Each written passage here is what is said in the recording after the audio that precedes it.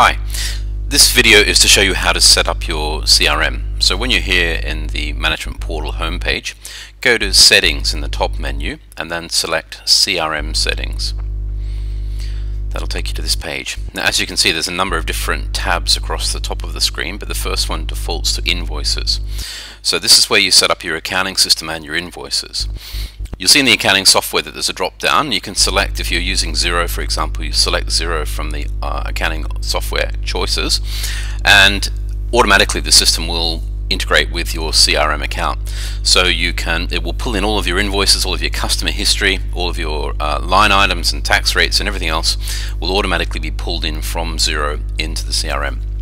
Now it takes about 10 minutes, so be patient for that information to pull through. The other settings within invoices is the Xero setting. So when we create an invoice in Formitize and push it through to Xero, you can set the status that you'd like that invoice to appear in Xero as either approved, submitted or draft. You can set the uh, prefix uh, numbering format and you can select the first number that you want us to start with. So we can, we'll, we'll start from 0, 1 by default, but if you want to us to uh, start off where your old system finished, then you can set that number there. Default payment terms, so again, that will decide the default terms for every invoice that's generated. You can adjust that on an invoice by invoice basis, but this will be your overriding default. And then you can customize the wording of the email that goes with the invoice. Uh, to do that, you put in the text, as you can see there, and then you can bring in placeholders from the CRM just by pressing Control Space. So as you, you put, put in your free text, and whenever you want it to pull information from the CRM, just touch the Control Space, and you can see a whole lot of placeholders appear there that you can select from and that'll automatically pull the correct information in for that client uh, or for that invoice in this case. And then you've got payment terms and conditions underneath. So this is where you put your payment terms. It's also where you include things like bank account details for direct credit transfers and that sort of thing. And underneath we've got the uh, reminders. Now it's up to you whether you use the invoice reminders or not, but you can set up your own customized emails, SMS, letters and tasks to trigger automatically whenever an invoice becomes X number of hours, days or months either before the due date or after the invoice is due.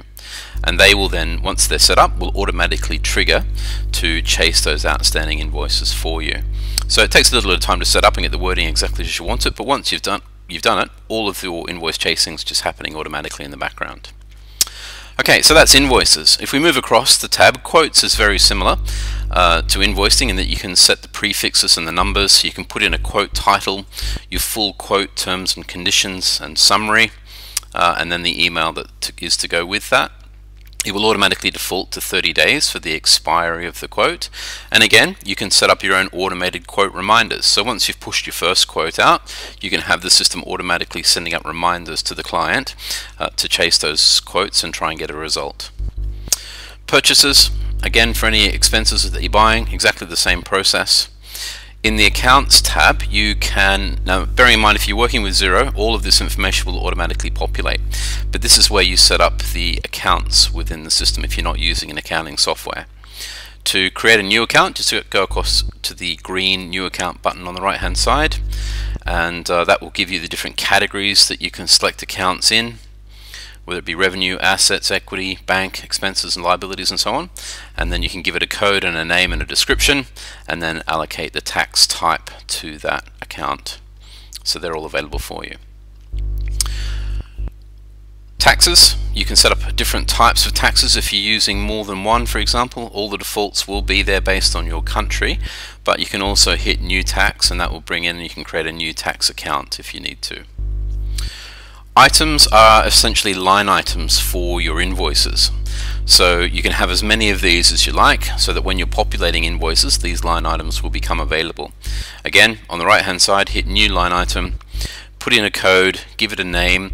You can choose whether it's something that you are either purchasing or selling and often it's both so you've got a, a buyer price and a sell price and then you put in your default unit prices, the account that it relates to, the tax rates that it relates to uh, on both the purchasing and the selling. Uh, and then these line items will then be available through your job types and whenever you're creating an invoice. So that's line items. Pipeline stages, you may or not be using the sales pipeline, but when you create leads, you can assign different stages to that lead from warm to cold to warm to hot, for example, or from lost to converted. And you can set different percentages against the different stage names. So for example when it's dead it's zero and when it's converted it's 100% and you can have different stages in between. And the way that this then applies is when you're looking at your pipeline in the management portal it automatically assigns these percentage likelihood of success against the amount and gives you a balanced overall sales pipeline calculation. So have a play with that.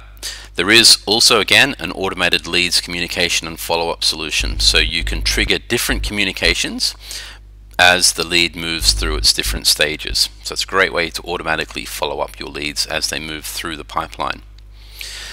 The next tab is SMS. This is where you set up your SMS credits.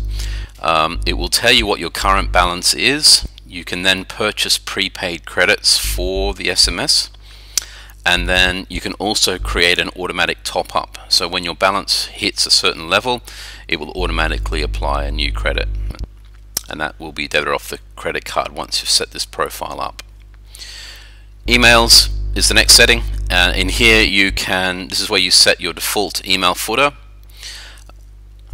custom variables are on the, on the contacts section of the CRM when you're creating a new contact, it automatically populates with all of the normal business fields, so billing name, primary contact details, telephone and contact details, that sort of thing. But you can also create your own custom fields. So if there is certain information that you want to collect about a customer that isn't in our standard fields, then you can create your own. An example might be a birthday. You might want to collect your customers' birthdays. So in the custom fields at the bottom, you can add as many custom collections for those contact details as you like just by hitting add another variable. And then finally is a list of your templates. So if you're creating templates in the CRM, this is where they're all stored and where you can um, view them and change them. You can you can have email, SMS, and letter templates all stored here, and it will track them for you, and and uh, you can update them from here.